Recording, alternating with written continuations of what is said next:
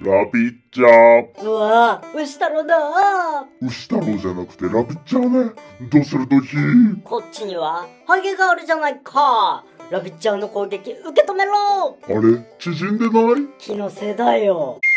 はいはいはい。チンチロポー。攻撃。こうなったら、これを使うしかない。火を使って近寄らせないのか。そして燃やしてダメージ与えていく。どんどん火を受け先生も燃えてるから、何やってんの？はいはいはい。チンチロポー。討伐。時は来た。本気を出すしかない。カツラを取った。ハゲは世界を救う。先生、上に打ち上げてくれわかったよ。スクリュードライバー、ハゲぶつけやった倒したぞドヒ強すぎる。はいはいはい。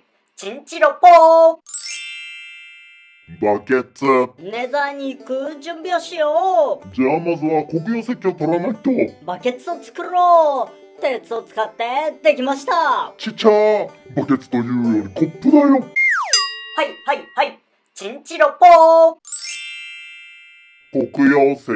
マグマのとこまで来たぞ水をかけようどんだけでかいバケツだよ。さっきちっちゃいとか言うからさこんなバケツどこに持ってたんだ？それを言っちゃおしまいししまいハゲの舞よいしょじゃあ水をかけてゆこうって水の量多すぎた息できない何をやってんだよ。はいはいはい。チンチロポー。